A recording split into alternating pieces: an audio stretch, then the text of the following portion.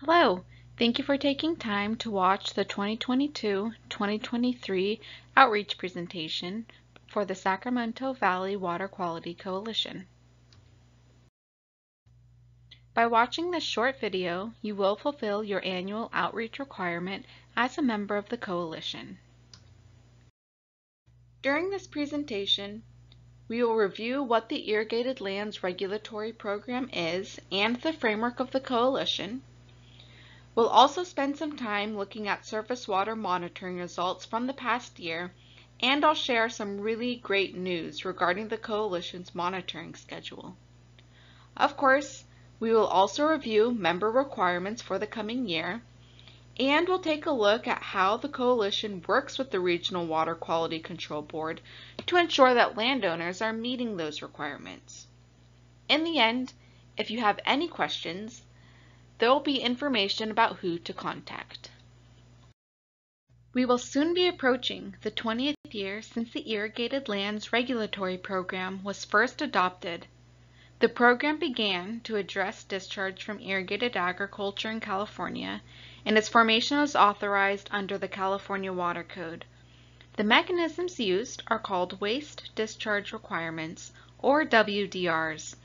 You may also hear these referred to as General Orders or simply Orders. The ILRP is mandated by the State Water Resources Control Board, and management of the program is divided up into regions. The Sacramento Valley is in Region 5. In Region 5, the Central Valley region, there are 14 total coalitions and 9 WDRs. These cover 7 million acres, or about 75% of California's irrigated land. Property needs to be enrolled in the program if it is commercial and irrigated and is not already covered under a separate order, such as the dairy program or rice program. To get coverage, you have two options. You can obtain coverage as an individual or join a coalition. To help growers in the Sacramento Valley comply with the WDR, the Sacramento Valley Water Quality Coalition was first formed in 2004. The coalition has over 1.1 million irrigated acres and 7,300 members. It is managed by the Northern California Water Association, who is the recognized party responsible for compliance in the eyes of the regional board. The coalition is administered by 12 subwatershed groups. The coalition helps members with compliance, reporting, coordinating surface water and groundwater quality monitoring, and compiling other reports required by the WDR. The coordination of surface water quality monitoring by the coalition is one of the biggest advantages of being a coalition member. And we have some really fantastic news to share about this.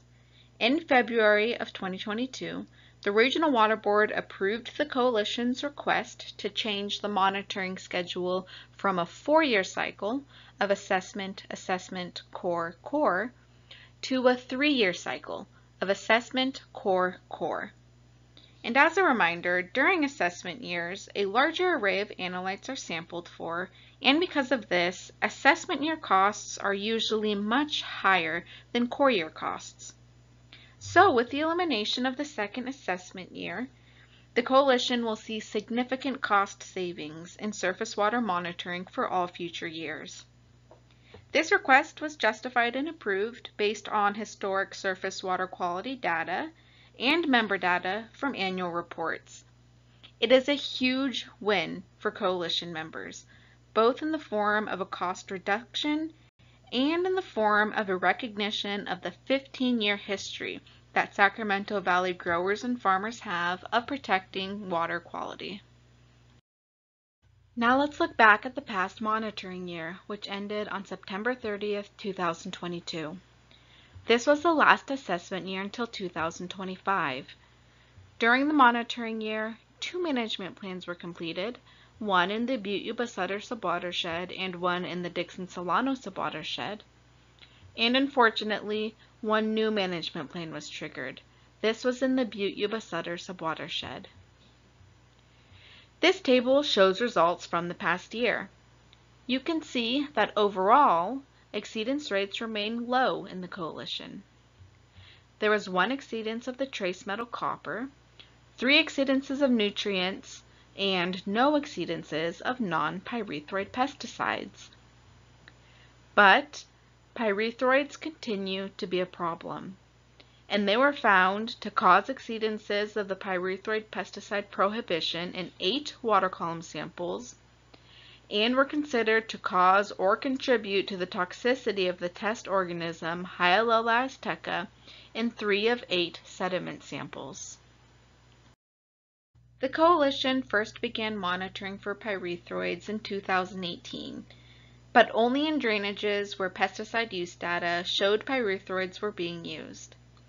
This table shows total results since January 2018, and the column on the far right shows total exceedance rates. You can see that pyrethroids are not only commonly detected, but commonly trigger exceedances. In fact, of the Coalition's five active management plans, four are related to pyrethroids. Management plans, as you know, are triggered by two or more exceedances of the same constituent at the same site within a three-year period. Once a management plan is in place, additional monitoring and outreach is required in the management plan area.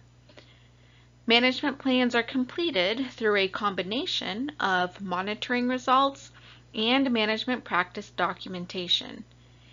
A minimum of three years without any additional exceedances must pass before management plan becomes eligible for completion. And overall, coalition members have had great success in completing management plans, and this can be seen in this graph. On the left are the number of active management plans during that year, and as they were completed, they moved to the right. So for example, in 2022, the coalition has five active management plans. However, 46 management plans have been completed since 2010.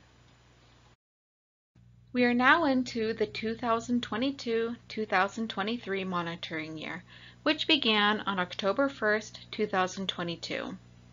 This is a core monitoring year for the valley floor areas, and no monitoring will take place in subwatersheds with the reduced monitoring option. These reductions in monitoring have resulted in the decrease of the surface water budget of over $345,000 from the 2021-22 budget. Yet, surface water monitoring will still take place in a majority of the subwatershed, and that is why it is critically important to continue to implement best management practices on farm. This is especially important when it comes to pyrethroid pesticides, which, as you may recall, have an extremely low exceedance threshold. As we continue into this monitoring year, this is the main message that we would like members to keep in mind. The most effective way to keep costs down is to complete existing management plans and avoid triggering new ones. We are now going to move on and speak about requirements that Coalition members should keep in mind in the coming year. Member requirements are quite similar to requirements of the previous year. Members must participate in one annual outreach event, and by watching this video, you are meeting that requirement. Members must pay their annual fees and dues, and of course, members must complete their annual reporting on time. This includes the INMP worksheet and summary report, and as a reminder, the worksheet stays on farm and the summary report is turned into the coalition. The farm evaluation plan is due every five years, with the next one due in 2026. And where applicable, members must complete a sediment and erosion control plan and a management practice implementation report. Your subwatershed will let you know if your property falls in an area with these requirements. And lastly, a new requirement, but hopefully not unfamiliar to you, there's the on-farm active drinking water well monitoring requirement. Annual fees and dues, as well as billing cycles, are determined by each individual subwatershed, and they are based on a variety of factors. The fees that you pay to your subwatershed are used to fund a variety of ILRP elements, including the State Water Quality Oversight Fee, Coalition programmatic costs, as well as local administrative costs. The State Water Quality Fee, which is set by the State Board and paid directly to the Regional Board, will increase for 2022-2023. It will be $1.09 per irrigated acre for irrigated pasture with no external nitrogen inputs, and $1.35 per irrigated acre for all other crops. Another huge development of 2022 is that the INMP grower self-certification training is now available 100% online. After completing the training and passing the online exam, growers will become eligible to self-certify their INMP worksheet. The certification requirement of the worksheet applies to members who have fields in high vulnerability areas for nitrogen or who have been identified as outliers, and self-certification is one option to meet that requirement. To access the training, please visit the link in green at svwqc.org. We would also like to remind members that the first sampling event for the on-farm active drinking water well monitoring program must be completed before January 1, 2023. This applies to enrolled parcels with wells that are actively used for drinking or cooking.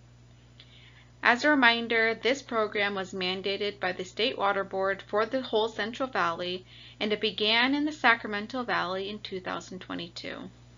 An ELAP certified lab must be used to sample your well.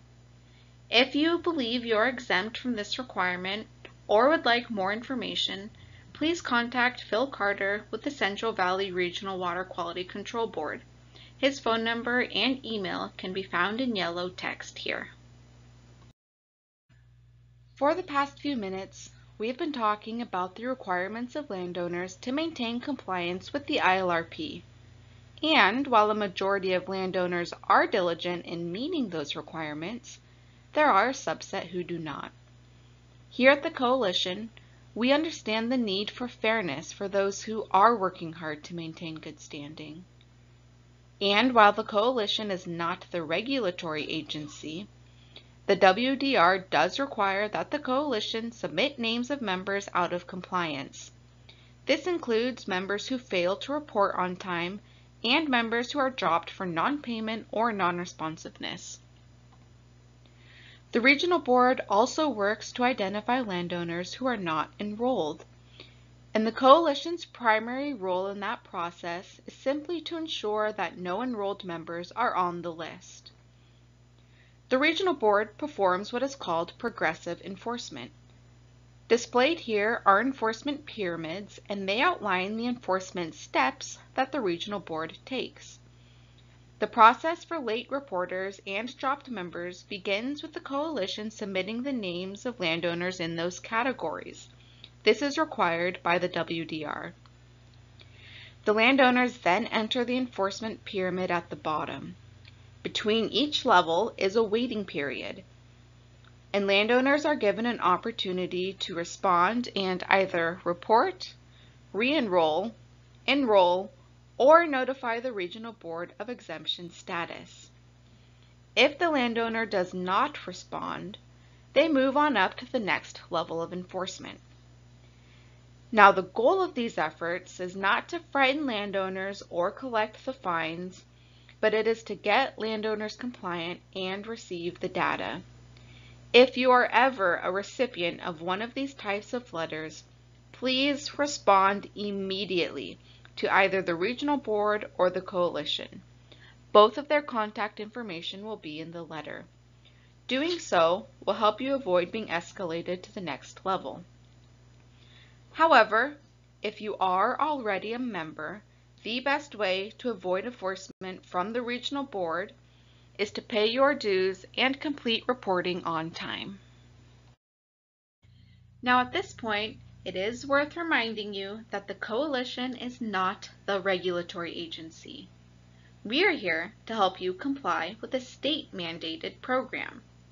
We only provide information to the regional board that is required in the WDR, and this includes the lists of non-reporters and dropped members.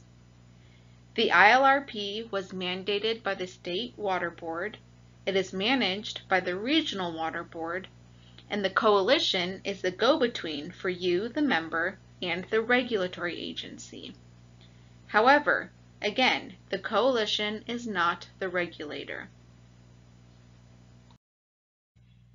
This presentation covered a lot of different topics, and so if you have any questions about anything that was presented today, or anything else related to the ILRP, here's a list of resources. Of course, you may also contact your subwatershed representative at any time or Bruce Houdesheldt, the Director of Water Quality for the Northern California Water Association.